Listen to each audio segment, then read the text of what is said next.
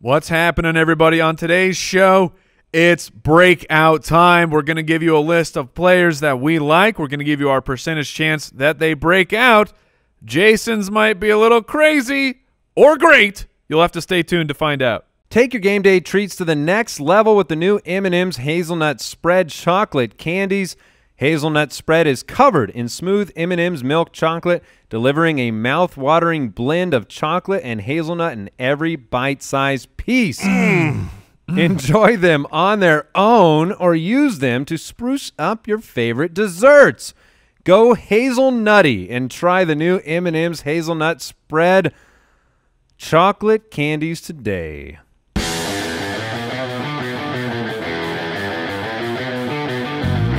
Welcome to the Fantasy Footballers Podcast, coming to you from pristineauction.com studios with your hosts, Andy Holloway, Jason Moore, and Mike Wright. Ah, welcome in. Welcome to the show. It's Tuesday, August 20th. Another great podcast coming your way. We have breakouts. Oh. Now, we're not talking any old ordinary. I mean, we've got our ultimate draft kit, and it's awesome. No, we're talking major. And we've we're got talking, breakouts in the ultimate draft kit. Well, you should just define it. The, the ultimate draft kit, at Consensus. least at least two thirds, usually all three of us, uh, have to sign off on that player before they get into the ultimate draft kit breakouts. On the show is where we're allowed to let that personal bias seep out. Yeah, we're doing our own breakout picks on the show today. Our, Yes. Some of our favorite guys. So we got got some breakouts. NFL season's coming quick. Got a good quick question. We're excited. I mentioned it, the Ultimate Draft Kit. If you need help on draft day, we've got an app this year. You can check it all out at ultimatedraftkit.com. A reminder, a dollar of every UDK sold goes directly to St. Jude Children's Research Hospital. All the proceeds from this Saturday's live show in Phoenix going straight to St. Jude Children's Research Hospital as well. Been a great partner this year. And we know, look, we know the time of the year. You are consuming all fantasy football content that you can. If you've never been in the Ultimate Draft Kit, this thing is jam packed. It is bursting. Is there an IV With- in there? Can you hook it up? You might need one after you're done going through all the information. Like, I'm telling you, you, you log into this thing, and it's it's a research tool. It, this isn't just us saying, "Well, pick this guy. That's how you win." You want you know how to win. You pick that guy. I mean, we're we're letting you research, trying to figure some things out for yourself as well. Absolutely. You can follow us on Twitter at the FF Ballers. The fantasyfootballers.com is the website. Here's the quick question. It comes in from Corey in Hawaii. Oh, bonjour, Corey. really? So non-continental, Yeah, you're I- throwing the non-continental bonjour? totally get behind that. They're Yeah. far enough away. Bonjour. Mike didn't even think twice. No, I, I don't have to. Look, when You whenever didn't I need see your passport, Mike? You don't When it- need your passport to go to Hawaii. whenever I see the commercials letting me know that good deals are happening, they're like, "Sorry, Alaska and Hawaii." Oh, so you want to you want to give them that foreign flair? That's right. Okay. Uh, you you also you you can get the ultimate draft kit for the regular price. it's not raised. Okay. How much do you guys factor in strength of schedule in your fantasy football rankings? Does it play a big role when it comes to fantasy success? What say you? I I do not. Uh, it's something I've learned over the last few years to utilize less and less. I I try to get more accurate, more predictive strength of schedules, and I do look at that when I go into every team.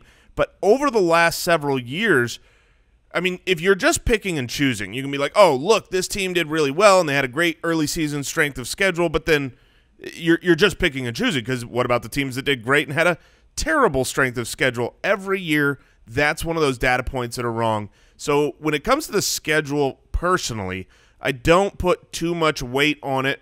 Obviously, you know from before the schedule comes out what divisions they're playing against, so you can tell if it's a little bit easier, a little bit more difficult. But I don't factor it in crazy. Where I do factor the schedule is week one defensive pickups. That's like, you know, I look at the early season schedule and think, how is a team going to get off to a, a- an easy start, a, a difficult start? Like I've, I've mentioned, I'm not drafting the Jaguars defense. Great defense. They play Kansas City week one. Not like I don't want to play them. You're not taking that chance. I don't want to roster two defenses to start. So the Ravens, who are at Miami, the Eagles, home against the Redskins, Seahawks, home against the Bengals, Cowboys, home against the Giants. Those are like I look at week one to make that determination. I I, factor them immensely when you talk about in-season rankings. Preseason draft rankings, I don't because of the fact that many times the players that I draft are not the that's not the team I finished the year with either. So if I'm trying to overemphasize the season schedule, number one, I have to make assumptions about the fact that every defense is going to be the same thing that I think they're going to be, which is never the case. Number two, I'm going to keep those guys throughout the season so that I can utilize them in this dynamic, amazing playoff schedule. So, no, when we do in season projections, that's what defines your week to week projection. As you start to see more and more about what these defenses can do, that affects the way your your week to week rankings at the running back, the wide receiver position. Obviously, that plays a big role. I still look at early season though. In in, in the in the UDK, we break down full season, and early season is included in that. And guys like uh, Mark Ingram, he's not really a running back that I've been super interested in this offseason. I, I feel just okay taking him. But they have a great schedule to open things up. So maybe when I'm in those rounds where I'm, I'm looking at guys like Mark Ingram, I'm going to use that as a tiebreaker to know that Ingram should get off to a, a pretty nice start. So you play against Miami, then Right. the Cardinals, then Yes. the Kansas City Chiefs. Yeah, so I, I do look at the early ones. It's people want their fantasy playoff rankings, strength of schedule right now. That part is going to be so different. Well, and, and and to your point, I don't mind you looking at them. I think that's why we break it down like that in the UDK. We talked about streaming quarterbacks on the ranking show all the time. You don't want to same same logic behind the defense. You don't want to go grab a quarterback that's got terrible perceived matchups. But even you looking at that, even what you believe about Ingram's schedule, could be wrong.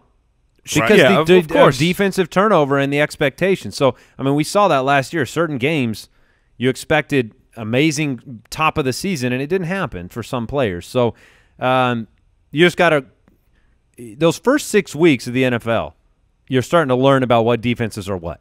Yeah, uh, the, people ask, you know, what's a is there anything any time of the year where it's harder to rank? Week 2, setting projections for players is extremely difficult. You might think, well, week 1, no.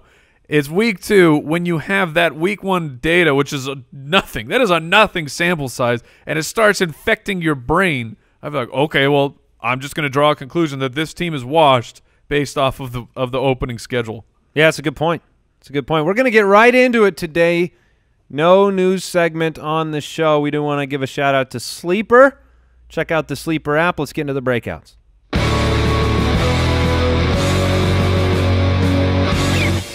Breakouts.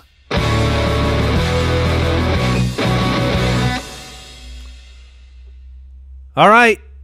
We get to bring a couple names each to the table here today. Players that we're excited about, players that um, there's a wide range of conviction when it comes to a breakout, right? Everybody throws this word around all the time. And you kind of have the, you know, the way Twitter is and with social media, and it's hard to fly under the radar and be a breakout. With the coverage that fantasy gets now, yes. So I think it's more important than to kind of qualify our breakouts more by our percentage of certainty. How strong do we believe in it? Because let's let's face it, there are a lot of players that could break out. Maybe they got a ten percent chance or a twenty percent chance, but I, you know, how sure are you when Sure. when you talk about your guys? Talk about how positive you are that these players are going to have that breakout season. And and it's not uh, all breakouts are not created equal. A guy that uh, that we like, you could say, oh, he's going to break out, but that just means now he's going from absolute nothingness, where you've never even heard of this player's name, to now that now they're a wide receiver three. They're not burning down the house with fantasy points, but they are usable on a week to week basis. That's how I look at uh, a breakout: is someone who had no value and now almost weekly that this person has value. I think that's fair, and I think a lot of the times it also represents a tier jump. You know, does a Yeah. player Sure. does a player move into a tier that we'll be talking about them completely different in 2020? Yeah, When and I'm I I'll, I'll kick us off here because I am pretty darn confident and bullish on this player. I think the breakout is as likely as it was for me and my acne in high school. Oh, We're, we're talking complete breakout. oh, gross. You're, you're welcome. You're welcome, everybody. Were you a, were you a full face? oh yeah, full face back. Sorry, my former uh, colleagues, friends, family. um, no, present, But you pre- pulled- you present pulled company through. excluded. We, we pulled through. We pulled through. We Good got for here. you. Super handsome now. Uh, for those uh, just Yeah. listening. yeah. Look, I early in the offseason, I talked Totally. about Thanks, guys. I talked about Chris Godwin a lot in the early offseason because I really, really believe in both the talent and the situation. When you bring those things together, I think you tier jump. I think you become a very uh, reliable player. But we haven't really brought his name up that much in the last month or so. Um, obviously, uh, around we the left that to everybody else. Right, I was going to say around the community, plenty of buzz around Chris Godwin, but he's someone that I personally believe is a is a great wide receiver. So coming out of college, Matt Harmon said he was basically the best contested catch player he had ever tracked. Um, in the UDK this year, Matt Harmon's reception perception says he's the easiest breakout to spot from a distance. He literally on every single route he is above the NFL average by a wide margin, with the exception of one route. He's a tactician. He's got a great, uh, you know, ability to grab the contested catches. And if you look at, he's entering his year three, right? Last year he became relevant. He was the wide receiver 25, a, a top end wide receiver three. And that was while you had Adam Humphries and DeSean Jackson taking a bunch of targets away. Now, those two guys are gone. He's going to go way up in targets, and you have the addition of Bruce Arians installing his offense, where we know from a large sample of history that the slot guy for Bruce Arians is great. Obviously, it was great for Larry Fitzgerald. Larry Fitzgerald had a five-year stretch with him where he was averaging 137 targets, 92 receptions, 1,000 yards, and seven touchdowns. That's great. But it wasn't just there, and it was, you know, first ballot Hall of Famer Larry Fitzgerald, where he was the one. Look back to when he was with the Steelers, and Bruce Arians had Hines Ward, who was dominating in that area. Same same kind of numbers, 130 target pace from 2008 and 2009, 88 receptions, 1,100 yards, six and a half touchdowns, and that was on a team where he. Did you just name another Hall of Famer as your example for the I other Hall of believe, Famer? I don't believe Hines Ward is a Hall of Famer. He's not already in, is he? I, I thought Hines Ward Is was Hall- uh, on Hines- his way. Well, I, I certainly did not name another first ballot Hall of Famer. Right. And who's to say Chris Godwin is not a future Hall of Famer? Andy, maybe maybe that's He the did. truth He here. last year Hines Ward missed the Hall of Fame cut for three straight years. So there you go. Um, the but he wasn't I the one. stand corrected. Yeah, but was Chris Godwin in Batman? Hines Ward was in Batman. I did not. I did not know You- that. Ah, Okay, so sorry, Thanks, we, Mike. we have derailed Jason. Uh, but but back then, you still had Santonio Holmes, who was you know in 2009 had more targets because a lot of you know it's like well you got Mike Evans, you still had uh, Heath Miller with 100 targets, and the slot role was valuable. So I think it's the combination, right? You've got the talent of Chris Godwin, who's excellent. The camp buzz has been electric. Every highlight from him in camp and in preseason has been dominant. You've got the role, you've got the vacated targets. It's just kind of this this whole picture where I think he's going to become a very relevant weekly player, and I think that the Tampa Bay Buccaneers are going to be seen similar to what how we view the Minnesota Vikings. Right? You got Thielen, you got Diggs, you got Kyle Rudolph, and they're not a pass first team, but this is a pass first team that's got basically you know, you've got Evans and Godwin and OJ Howard, and I think all three are going to be very fantasy relevant players this year. Jameis, uh, Do four. they still have Jameis? yes. Say That, that was a joke. I four they snaps. Four snaps where Jameis Winston was playing, so 22 snaps. This is from Adam Levitan. Chris Godwin has been on the field for all 22, and he's been in the slot for eight of them. So Yeah. they, they're he's gonna he's a full time player, which we already knew that, but they are moving him around and they're putting him in the slot. Yeah, I think I think the only difference between some of the examples that you gave is a player with a history of success in the NFL, uh, from a fantasy perspective or a career perspective. I think Godwin can do it. I think you saw the ups and downs of being with Jameis Winston last year. I mean, he if you look at the consistency chart for Godwin as a 22 year old, um, you know, you, you might not want to look too much because he had some rough weeks. But of course, I think he's gonna. He was a fringe kind of uh, player that you were willing to put in the lineup last year. Everybody's been on um, the bandwagon this offseason. So then it's just an ADP situation from a fantasy owner perspective. But that that doesn't preclude him from breaking out, even if he's too expensive right now. Yeah, I mean, I, I just think his floor is is very high now, and so where he's at in ADP, I'm fine taking him there because I think he's going to be a So you are you're fine taking him at his current yes average draft position. hundred percent. Hmm. All right. Yeah. Um, 408 right now. So you have to choose between Robert Woods and Chris Well- Godwin in every draft that you're in. Which no, one do you choose? Because I, I don't ever choose between Robert Woods and anybody else. Godwin or Golladay? Godwin. Godwin or Lockett, another friend friend of yours. Lockett was almost my breakout, but I feel like he's already broke out. I love Lockett. He really does. I really do. I'm I'm It's just rising. very strange what has happened here. I'm I'm telling you guys, Lockett's in for a huge season this year. Breakout two point B. Two point B. Okay. Mike, why don't you take the reins? All right, I'm going to jump in. Uh, we've talked about him a little bit more and more over these past weeks. I really think he's going to break out, and that is wide receiver from the Jacksonville Jaguars, Dede Westbrook. Uh, look, Nick Foles, he is now the quarterback for the Jaguars, and Nick Foles has targeted players lined up in the slot at the sixth highest rate over the last two seasons. Blake Bortles, not so much. The, the, the slot is not his favorite wide receiver. Uh, last year in five stars, Nick Foles completed over 72% of his passes. He was fantastic. Blake Bortles was at his career best at 60.3. Dede Westbrook still managed to be a wide receiver 33 in half point PPR. He had 101 targets. There's only 28 players last year that saw 100 or more targets. And you want to talk about vacated targets? Jacksonville, the third most, over 50%.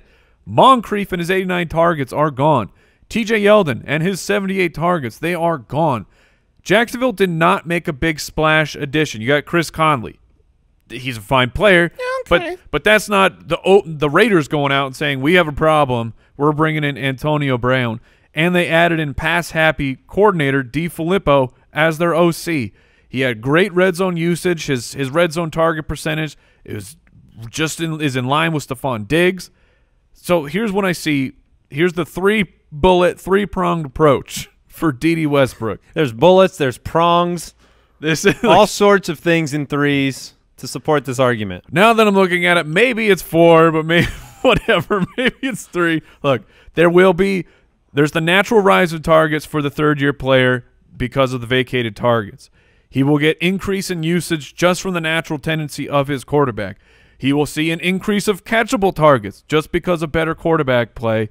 And then there's the possibility of targets going up because they brought in a pass happy OC. There, there are, for a lot of breakout players, you're looking at one or two stabilizing forces. Like these are the two reasons I'm buying into this player.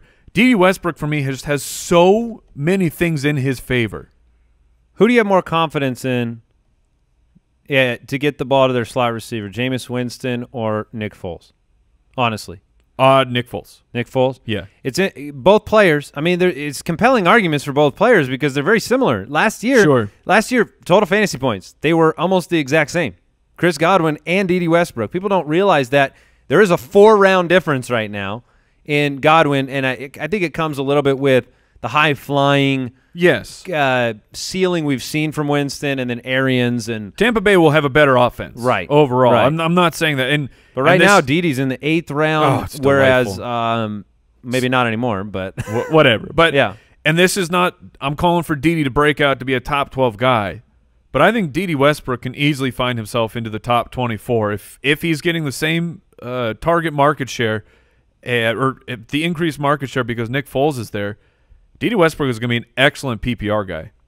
All right, my breakout. It's actually our breakout. I think we threw him into the UDK over the last month. Miles Sanders, running back for the Philadelphia Eagles. I'm in love with the draft price. I'm in love with the player. When we went through all of these different uh, dynasty rookie drafts over the last, you know, three or four months ago, it was that tough decision. Okay, Jacobs, Yes. Jacobs was going ahead of both these guys, and then do you go David Montgomery, who has a great opportunity there in Chicago, or do you go with Miles Sanders? And it didn't feel great going with Miles Sanders in the beginning, banged up, injured. Jordan Howard's there. Uh, They bring back Sproles. They bring back, you know, they have this plethora of, of running backs. But now, you know, you look at the draft costs between Miles Sanders and David Montgomery. You look at what you think the offense is going to be. Yes, we can we can be big Nagy fans in Chicago. Their offense wasn't that good, right? It wasn't it wasn't an upper echelon offense compared to what Philadelphia has shown and is capable of being. So I think the offense is better in Philly. So the question then is, hey, will Miles Sanders be given enough work to justify drafting him, playing him? Is he a startable RB2? Since Chip Kelly jettisoned LeSean McCoy after the 2014 season, the Eagles Going back to Chip. yeah, the Eagles have had a different leading rusher every single season since. DeMarco Murray, Ryan Mathews, LeGarrette Blunt, Josh Adams. Oh, Ryan Mathews. But I miss you. I know. Oh, yes. But but Miles Sanders is the highest draft capital pick the Eagles have had since LeSean McCoy. This is a second round pick with a three down skill set. So you look at a few things in the preseason. I say don't look at stat lines, right? You look at what the player does. And to me, he's checking every box. Here, here's box one. Jason, you said uh, step one on any uh, yesterday on the show. Number one thing that can happen to a running back in the preseason is not play Yes, that's best assuming you're at, at the top of the depth chart. Next best case is to get the first snap. Well, Miles Sanders got the first snaps ahead of Jordan Howard in preseason week two, did a lot with them. He also, if you watch the film, showed that he could pick up the blitz. He had a couple of great blitz pickups, something that they're concerned about to get him on the field to be a three down type of guy. Great vision, great ability to change direction in the open field, more explosive than any other back that they have on their roster.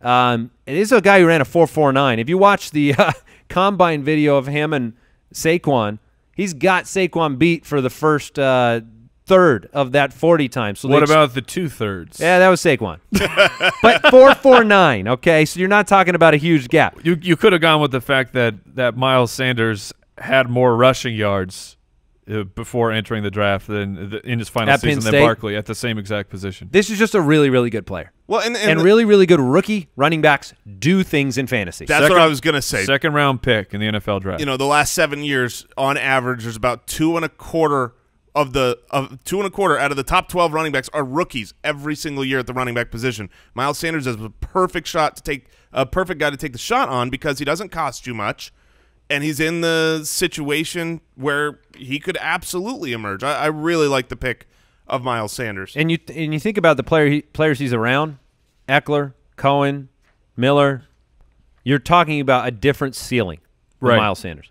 Before we get to our next set of players, want to thank today's sponsor, NFL Game Pass. Only with the NFL Game Pass do you get every out of market preseason game live. Can the Browns show early signs of being a playoff contender? Do the Cowboys have all the pieces in place Go watch Miles Sanders pick up a blitz. to make a run in the NFC? Watch Miles Sanders pick up a blitz. I would.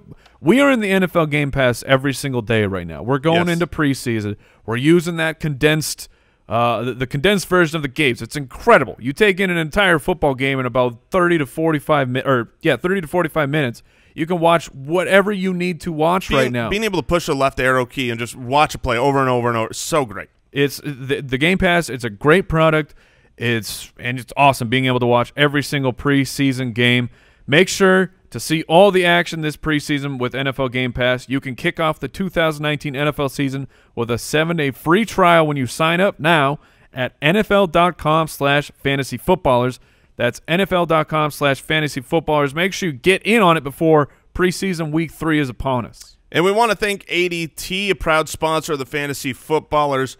Real protection from ADT is personalized smart home security with a system that fits your unique needs. They are the latest in innovation in smart home security from ADT. Everything from HD video doorbells, high def indoor and outdoor cameras, smart locks and lights, even to smart thermostats, all controlled by the ADT app or the sound of your voice. But real protection doesn't stop there. You can take ADT peace of mind with you on the go with the ADT Go app. The app features location sharing, safe driving reports, and an emergency SOS button. Real Protection is a team of professionals who help safeguard your home with rapid connection to first responders 24 7. That's how ADT, the nation's number one smart home security provider, helps keep your home and your family safe wherever you go. Real protection with ADT. To learn more, visit ADT.com slash podcast. All right, we've got another breakout. Each of us has another breakout for you. Um, who, who's going? It's Jason's Jason. turn. Jason's oh, turn. I'm up. Look, this guy is it's a little dicey, right? And, and by it's I mean hamstrings.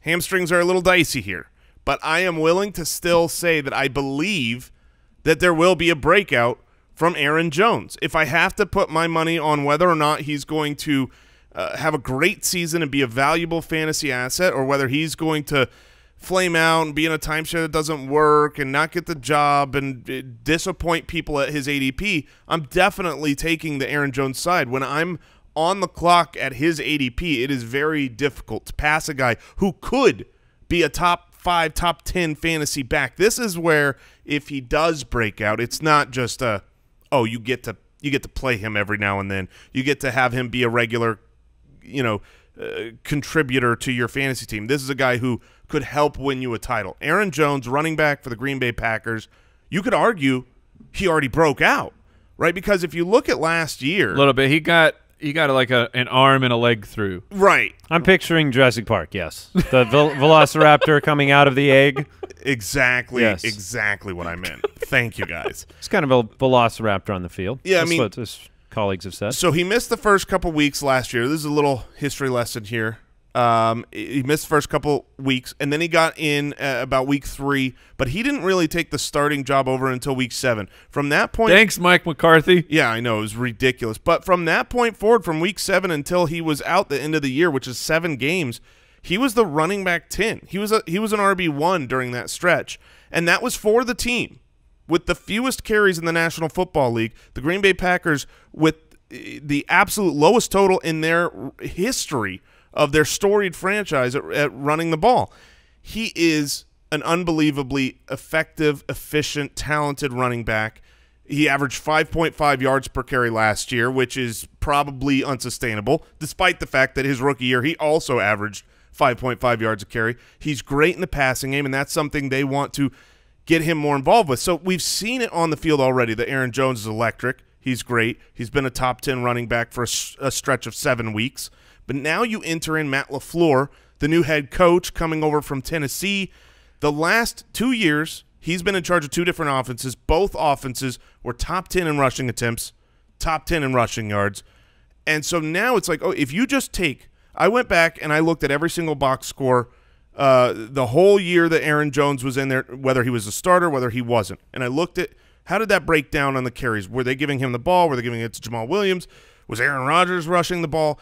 If he got the exact same rate that everybody was upset with last year, and you you you tell them you tell me that they're going to finish as the 16th most rushing attempts you just take the number from last year that would be 224 carries that would end up going specifically to Aaron Jones he is an Alvin Kamara type of player He's not getting 224 carries. no, but my point is that would just be his already his workload last year. That percentage of uh, market share in that backfield.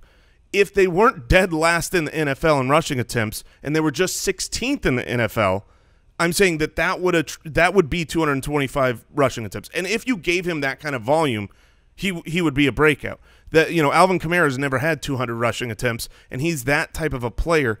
Plus, a lot of the story from preseason training camp was wanting to get him involved in the passing game. Uh, we we talk about it a lot in fantasy. Uh, a pass, a target is worth a whole lot more than a rushing attempt. So you've got the talent, you've got the quarterback, you've got the team, you've got a head coach coming in that wants to run the ball more. If his hamstrings were fine, I think you'd you'd be seeing him at the like two three turn in fantasy. Well, I, I- I think the question marks is that it's not necessarily an asset to repeat the fact that they were dead last in rushing, because Aaron Rodgers' team. This is why I mean Aaron Jones was written on my board as one of my my guys for about four months on the on the board. I got a little hesitant. Now, it's a strong counterpoint to say, hey, when Matt LaFleur's been involved in an offense, they generally are in that upper echelon of, of rushing attempts. But you still have to hope that that team gets there. It's not like imbuing, you know, the Seahawks and they're what they've already proven. I mean, they have to go do it. Derrick Henry was only he he had 215 attempts last year. Like it is, you, he's been there. He, he was on the Tennessee Titans, the, the OC for for two years, and they were split backfields the entire time. That's Right. my confidence is like lower on Jones than it was. I love the talent, but if if push comes to shove, I know for a fact Aaron Rodgers will throw the football. That's that's he will take over the team, and so that gave me a little bit of pause about declaring a breakout. But I want to have some fun with this. Let's go back through the first guys. I want to get a percentage chance of that, a percentage chance that they give you a season that fantasy owners will look at and say that was a breakout season, and then I'll let you do that with Aaron Jones too. But Godwin, what percentage chance do you think that fantasy owners will look back after the year and say Chris Godwin was a breakout? I'm going to say a 66% chance. Okay, two thirds. Mike, you you brought up the name Dede Westbrook. What percentage chance do you I want was- to attribute? I was going to say 65. much different. Much different. I'm more confident than you, Mike. Um, my You first are, one was My, Mi- Miles Mine's Sanders. less expensive if, if I'm wrong. I'm about 75% with Miles Sanders. Oof, spicy. Oof. Yeah. Yeah. I thought that was going to end up low because I thought you guys were more confident in your picks, but whatever. I'm just Um, I'm just leaving margin for error, my I- man. That's and that's that's your prerogative. Aaron Jones, Jason, based on what you're saying, and I we've all seen the talent. What is your confidence level in Aaron Jones having a breakout season? It is it is more than 50%. It is less than 60%. I would go ahead and say oh, See, that's a proper Brooks. How you doing? Excellent. Okay, that was a proper. He gave me the time to find the button. That was He didn't just move. throw like the Josh Stallion thing out there, and then I'm scrambling. I I- just want you to learn. I do what I can. Okay. Um, all right. So, anything you want to add to Aaron Jones? I I know that um, we both shed a little bit of doubt on there. You, you have Well, you, uh, the only thing I would add uh, as a counterpoint to your argument about you know them them not running the ball, they've they've always Green Bay with Aaron Rodgers has always been uh, fine at running the ball. Last year was this weird aberration where they just decided. We're not going to run the ball at all. We're going to throw it all the all the time. There were games last year where I was I was tracking this data. Let me see if I can uh, find it real quick. Where I think they had like eleven or thirteen carries whole game. Like they just that, didn't. Yeah, that's that's that's what freaks me out.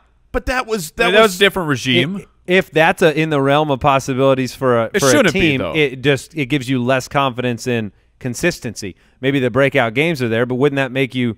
I mean, that's never going to happen in Seattle ever. But, yeah, if, but if the, McCarthy were the coach, then then you could bring that up and Sure, say this. I'm sure. concerned about the this. time at which something like that happens, yeah, 13 carries in a game. That's those, gnarly. those those are so incredibly rare for an NFL franchise that a guy coming in who's been top 10 in rushing attempts the last two years, I can't fathom him going, yeah, we're going to do the same thing. All right, Mike, who's your next breakout? All And give me your percentage. I will give you my percentage. You- uh, look, well, whatever. We'll just start with the percentage. It's 85 percent Whew. because I'm taking Vance McDonald. It's oh, it's happening, people. We are going to be doing the Vance dance. ADP be darned. This thing is happening. You you struggle with this. I did. in the in the studio, you're just like eventually you wrote the name down because the average job position has it's been a it's been bothering you. yes. It's been troubling. It's made you not want to lean in, not get behind it all the way, even though you know in the deep parts of your soul. It doesn't matter. This is happening. Vance McDonald is finally breaking out. The Pittsburgh Steelers have lost over 35% of their targets between Antonio Brown and the largest competition, just positionally speaking, tight end Jesse James. He is no longer there. Yes, people, we want to point out the Pittsburgh Steelers probably have some regression coming to their passing attempts. Ben is not going to throw the ball 675 times. I agree.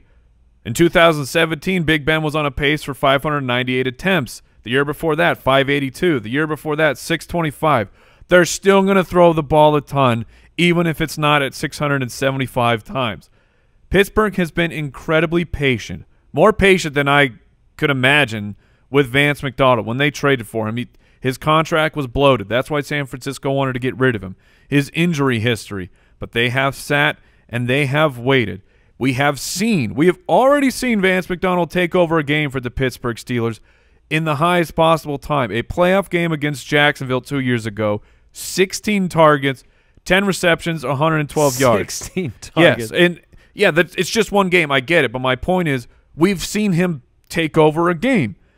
Heath Miller, when when Big Ben actually had a pass catching tight end, it was Heath Miller. This was a while ago. He regularly saw excellent target shares, including Jason. Yeah. Funny enough, the year you brought up when the, all three of them had over 100 targets: Antonio Brown, Mike Wallace, and Heath Miller. You realize Jesse James started last year with the week one he was the number eight tight end. Week two he was the number two tight end. Yes. Look, because Big Ben utilizes the tight end position, and now that position belongs to Vance McDonald. Over the last two years, only Travis Kelce has more broken tackles at the position. Travis Kelce's a full time tight end. Vance McDonald has not been. Over the last two years, only George Kittle has a better yards after catch. Last year, 12th most receptions at the tight end, 11th most yards at the tight end position. He was the tight end 10 in half point PPR scoring as a part time player. What do I mean, Andy, by a part time player?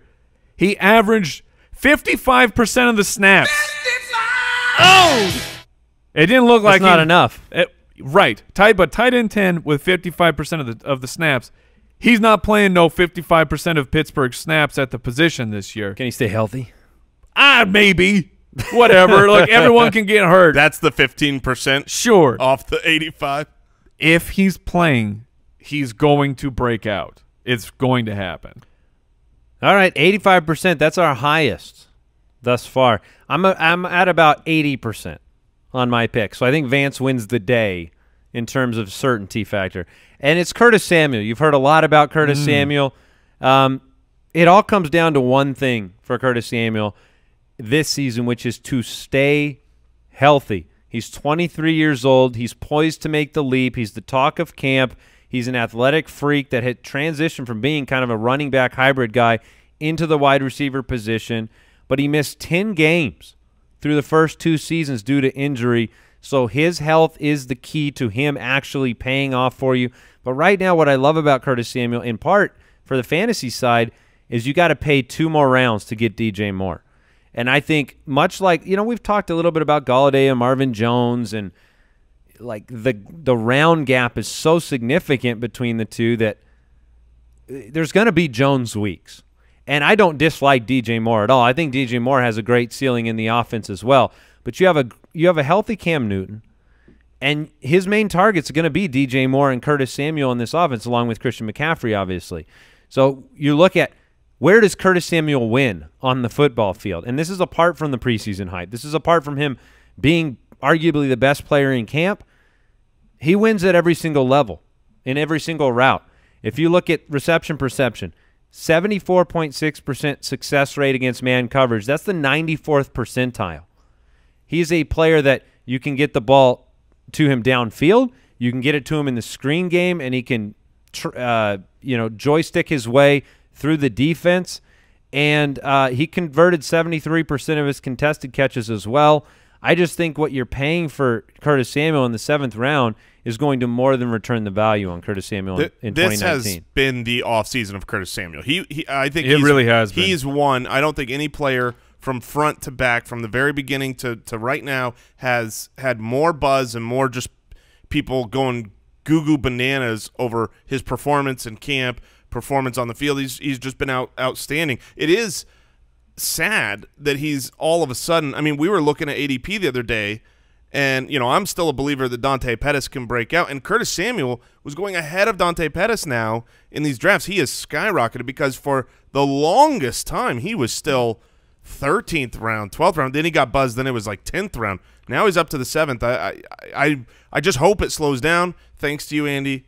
Probably it won't. might not. Probably won't. I will add this in. People who are in the in the realm, we're all consuming this content right now. You're listening to this podcast. You know who Curtis Samuel is. You may have to pay that ADP. I'm telling you, in the the majority of like home leagues, casual leagues, which a lot of our listeners play in, you're gonna get him really, really late. We just did a uh, draft, the celebrity draft we did with with Juju and Ninja and pals. We got Curtis Samuel super late. They were all sleeping on Curtis Samuel still. So I think there is still the there's still this world that exists where guys like Curtis Samuel, the the majority of your league won't know who he is. He didn't play at the beginning of last year. And honestly, for fantasy awareness, that front half of the year matters a lot more than the back half for a lot of like uh, fantasy owners to come around on who the player is. I mean, over the back half, he had a handful of these weeks where, you know, he was a one, wide receiver two, three fringe guy.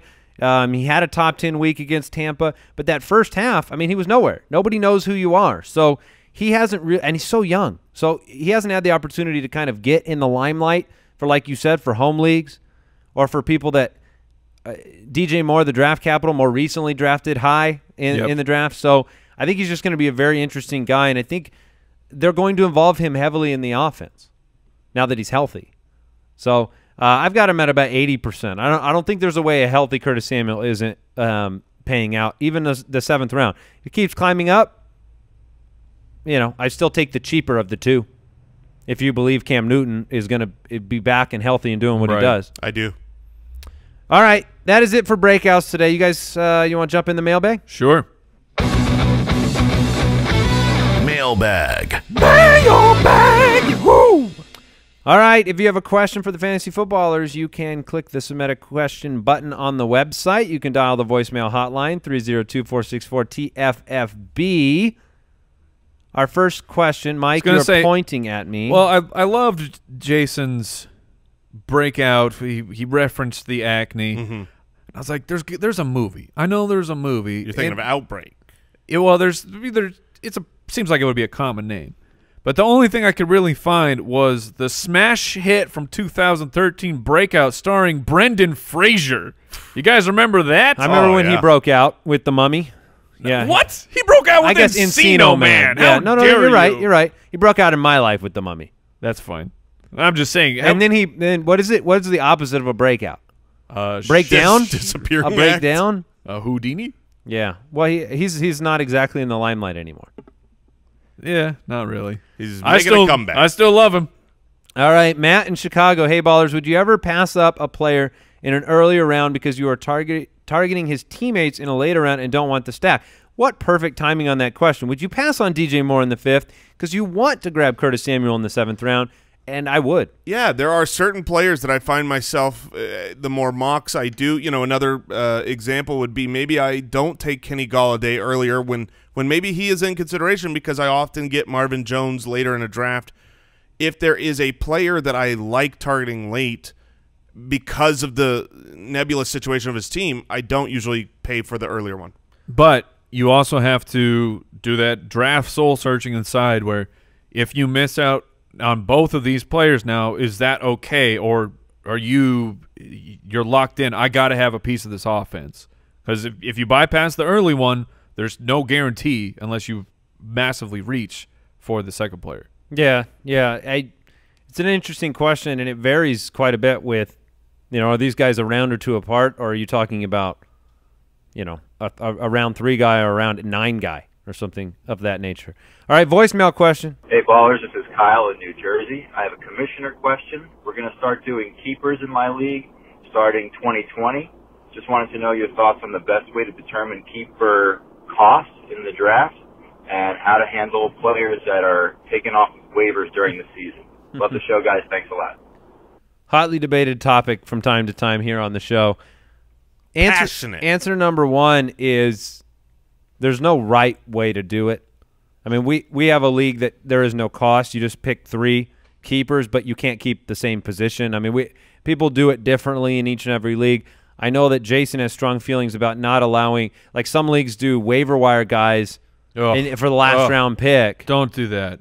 Yeah, that's I. You know, a lot of times you'll you'll do something where you you establish your keepers. You can keep them at whatever you drafted them, and and every year or two it goes up two rounds or something like that. If you got them off the waivers, then it's your last round pick. That was like the default several years ago when uh, keeper systems were were just being made. So it was really common. And then you know after 2014, Odell Beckham Jr., who was a waiver wire guy, who was a top you know five pick the next season was just completely free, even though nobody in your league And then it was drafted David. him. Then it was David Johnson. Yeah, so to me, I love, I personally love the the forced strategy on a league where it's like if you don't draft the player, if the league doesn't draft them, so that they cannot be kept, they're just not eligible to be kept. They back in the draft. Um, Andy doesn't like that. I love that. Like that is my I mean, preferred method. So Other- you don't other- get so you don't get rewarded for being a, an in a keeper league. You can't pick up a guy and So have what's a the reward. cost then? I think you can do it a number of ways. You could do it uh, two rounds behind ADP, one round behind ADP. Uh, how about this? Inventing it on the spot. What if what you paid in Fab for him, you got to give up if you want to keep him? You get a, you give up your last round pick plus the Fab you spent on that player if it's a free agent pickup. Here's the thing: if a player isn't of any cost, people trade keepers. So that that guy has a different value, right? You can go trade for David Johnson and he has no cost, so he's got a different elevated value. It just depends on how you want to play. I can't imagine just telling people the more fun way to play fantasy football is if you pick a guy off of waivers. In our keeper league, you can't keep him. No, it's not. It, it, I don't think it takes any fun away because it's not like you don't get a keeper now. You've got to keep the guys that you drafted or that were drafted. I mean, the the You never had a badge of honor though, where you have a oh, guy Oh, I that you love- picked up off of yes. waivers. You're like, man, I saw that Phillip Lindsay before anybody else. I saw George Kittle before anybody else. and that's why I drafted him. Is what I would say. No, you didn't draft him. You waiver picked No, I him. up. know, but then it's a, you're the, we're talking about draft cost, right? So like the you're rewarding. I think that the point of the the the for the where you draft for the draft cost, the point is rewarding the owners who found those guys in your draft late and made the decision to spend the draft equity on that guy. I got Curtis Samuel in the 13th in an early, you know, off-season draft and you're rewarding their insight at the draft. I didn't think keepers was about the draft only. I thought it was about the yeah. league. I, I, I I side more with Andy on the the philosophy of you got to find a way to be able to to let players keep them, and it's it's ADP minus a round for me. I think You're- that's a- that's a you're fine rewarded. compromise. You you get someone's like David Johnson or, or James Conner this past year. You picked him up off of waivers, right? And, then, and this wasn't even after week Nice one. move, Mike. Yeah, I know. Well, Picking him up. look, and he you shouldn't be allowed to keep James Conner for free. Should be ADP minus a round. So you'd get him for a second round. Second round pick. All right, Parker in North Phoenix. Why is no one even drafting Tony Pollard anywhere? Comparatively, shouldn't he be getting drafted somewhere behind or between Austin Ekeler and Justin Jackson? I'm aware they're not in the same offensive systems, and Eckler has standalone value, but doesn't Pollard deserve to at least be drafted? And if so, where? We haven't talked a lot about To- Tony. We, we talked Pollard. about him on yesterday's mock draft show at, at the very end, and, and yes, I, I believe he should be drafted very very late. You'll find out soon. You'll you'll know before week one if Zeke is going to come back.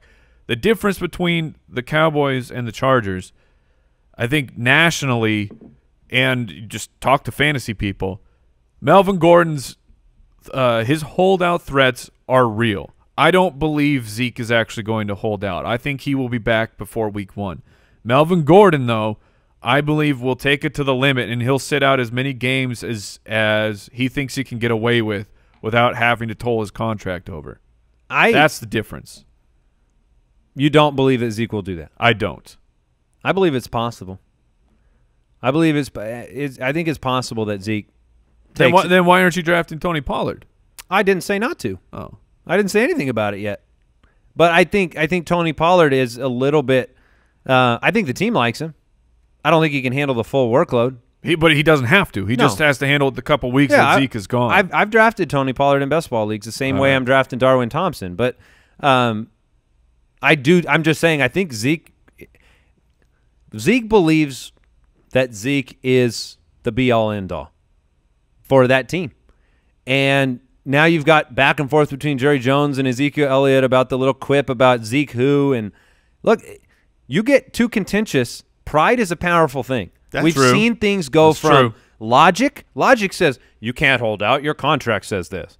Pride says something else. That that uh, quip, as as you call it, the, the where Jerry Jones was like Zeke who, and then Zeke's camp said that they were offended by that and all that. What it reminded me of, in in a little bit of a scary way, was when the Bleacher Report article came out last year from inside the Pittsburgh Steelers locker room, where the players were saying, "Hey, where is Lev Bell? I don't like that he's not here. We're fine with James Conner."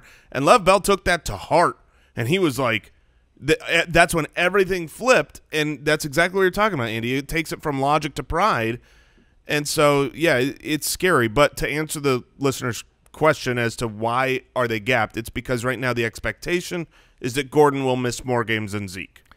Tony Pollard looked great in preseason week two. I will say that. A couple impressive runs. Um, Cole in Wisconsin. Hey, fellas, love the show. Is there a remedy or punishment for people who take way too long to respond to trade proposals or at times even let the trade expire?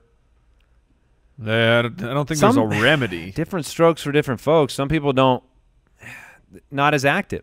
it, it- not, or at least it's not a punishment. You can't punish these people, but the remedy is building up conversation in your league. We we bring up that one of the most important things for your league is an actual communication hub and a communication hub where people go regularly. Are you in the Facebook generation? Make a Facebook group. Are you in the Twitter generation? Make a Twitter DM group that every you know that people are going to log into it once a day and they'll see the notification. So that that would be my advice. That's how you try and remedy that is get everyone talking. Alternatively, tasers. That is another option. That is just, I mean, you got to have complete league buy-in from all parties. But if you don't respond, you get tasered. Yeah, that, that's something that you've experimented with. Uh, no, the other just to piggyback, Mike, you can also one to one these. I mean, you want to Never get a, You want to get a, a trade done. Talk to the person, just to speak to the communication thing. It's a lot easier to send out a bunch of blind deals and be mad that people don't respond. It's harder to send a note and say, "Hey, do you want to do a trade?" Right. I almost never offer a trade through the system. You know, just click, click, and send. I'll text the person. That makes one of us. Yeah, I, and, and I guess I guess to be fair, you get the most trades to go through, so maybe I need to just start sending out. No, people trades. stop. People stop listening to me. Those shotgun trades worked before I had this stupid podcast. Let's get one more voicemail, then we'll wrap it up. Hey guys, love the show. This is Josh from Boston. Keeper question. I can keep him forever. Do I keep James Conner or do I keep Nick Chubb? Full point PPR. Appreciate the answer. Thanks so much. Uh, Nick Chubb. James Conner. It does, the difference, Man. the the whether you can keep him forever or not doesn't make a difference it- to me. I'm only thinking for a couple years. Man, that's I I struggled with that mightily when I was over the weekend looking at at my dynasty rankings of of who who would I rather have, James Conner or Nick Chubb, and it got to the point of off the top of my head I can't even tell you where I landed. I think Nick Chubb's a more talented player. I won't necessarily argue So, with that. I, that leans me that direction. It's not. It's not some slam dunk guarantee. I mean, Pittsburgh's had so much success with rushing leaders, DeAngelo Williams and Lev Bell, and, and you know, they've had so much success. It's hard to bet against the guy in Pittsburgh. I just right. lean Chubb. Let me ask you this question then: Is Kareem Hunt a Cleveland Brown next year? Probably not. But there's a chance. Yeah, there's a chance. Yeah, And if Absolutely. so to me, then if there, if you feel like there's a chance that Kareem Hunt is on the same team as Nick Chubb, and if that team, uh, if they're going into the off season with both of those players on the team, it's gonna both of them are gonna be involved. This it won't be what you you're getting from Nick Chubb these first eight games, where he's just gonna be a workhorse. And I believe that as long as James Conner is on the Steelers, he it will be a workhorse. The funny thing is, is if Conner is what you want him to be this year, we'll see if he plays through with his cheap contract for the next Right. year because he'll have one one season left, but he's going to get paid uh, seven hundred fifty eight thousand dollars. My guess is if they offered James Conner the deal that they offered Le'Veon Bell, he would say, Where. "Where's my pen?" I tend to agree with you. So Seems like a slightly different situation. if they want to lock Conner up, I think they'll be able to do it. We're not going to have any more running backs in the NFL. They're just going to be all holding out. Because guess what? You don't get concussed if you When you're- hold out. That's true. yeah, but you don't get paid. Well, And that doesn't seem to bother anybody at all. Um, goodness. All right, that is it for today's episode of the show. Be sure to check out Pristine Auction. Yesterday, a signed Mike Evans jersey, or I'm sorry, a signed Chrome Speed mini helmet Oh. went for $79. There are hundreds of daily auctions from your favorite players, teams, pop culture. PristineAuction.com. Use the registration code BALLERS, and you'll get $5 off your first auction. Otherwise, we'll be back with you tomorrow. more sleepers, values, and news. Yeah. All right. we'll, we'll see you then. Goodbye. Thank you for listening to another episode of the Fantasy Footballers Podcast. Join our fantasy football community on jointhefoot.com and follow us on Twitter at the FF Ballers.